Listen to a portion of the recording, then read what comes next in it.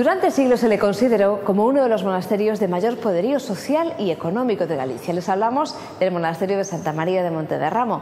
Ya en el siglo XX, en el año 1951, fue declarado bien de interés cultural.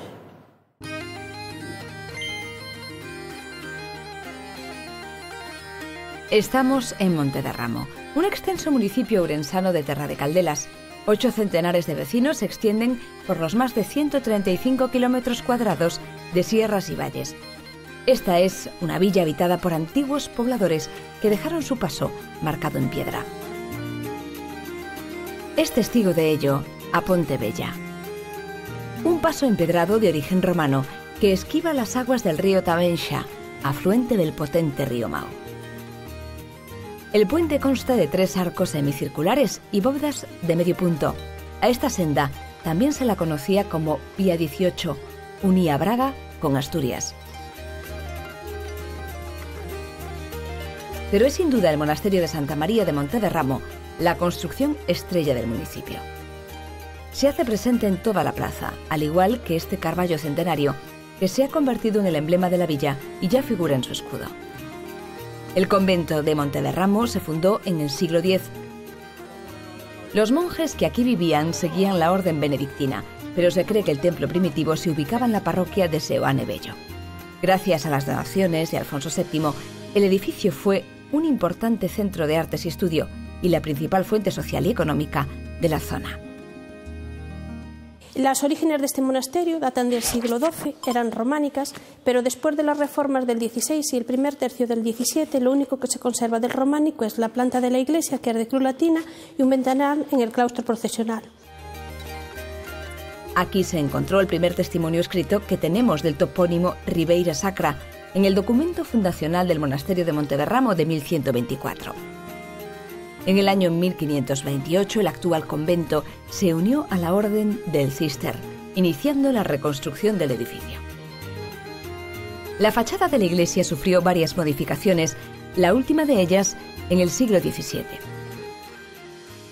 Es plana y sin torres. Sobre el tímpano destaca una hornacina de medio punto que sostiene la imagen de Santa María, patrona del monasterio.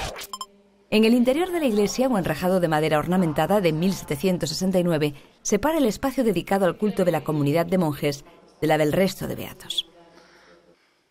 El templo, de tres naves y planta de cruz latina, destaca por la amplitud del espacio y por las grandes pilastras que lo separa.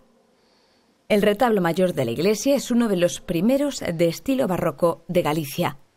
En nueve paneles se representan escenas de la vida de la Virgen y de Cristo. Accedemos al coro por el interior del monasterio.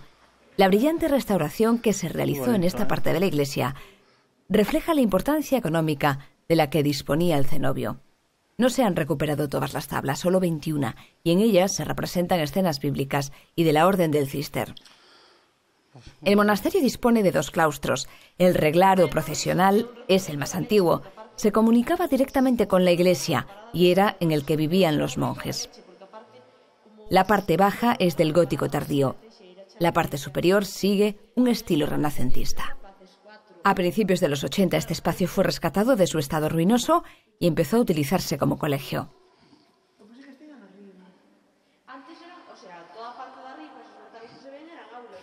El segundo claustro, llamado de la portería u hospedería, es de estilo renacentista el claustro de hospedería, que aquí es donde recibían a los peregrinos, a los huéspedes, incluso a gente que incluso ellos dieron clases de arte, de medicina, y entonces aquí se alojaban los alumnos, y dentro era el claustro procesional. En el centro ellos daban sus paseos, eh, eh, sus procesiones, y, y, justo en el centro del claustro procesional había una fuente donde ellos se lavaban las manos antes de ir a comer.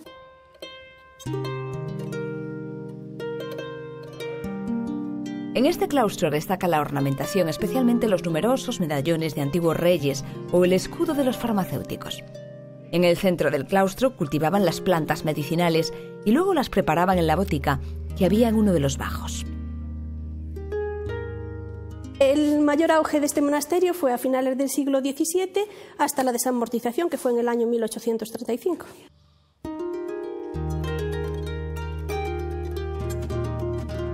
Tras la desamortización de Mendizábal en el siglo XIX, el claustro pasó a manos de particulares y hoy todavía son viviendas privadas y negocios. A pocos kilómetros de la capital, junto a la carretera, destaca el conjunto religioso de Marrubio. Lo componen la capilla de San Antón, un cruceiro y un peto de ánimas protegido con un baldaquino. La característica principal de este conjunto es la policromía del cruceiro. Del peto de ánimas solo se conservan las hornacinas. Nos vamos, señores. Gracias a todos por su compañía una semana más. Volvemos dentro de siete días. Hasta entonces, ya saben dónde pueden encontrarnos, en la red. Les dejamos con algunas de las propuestas de Galicia para las próximas semanas, por si deciden visitarnos. Cuídense mucho y que sean felices.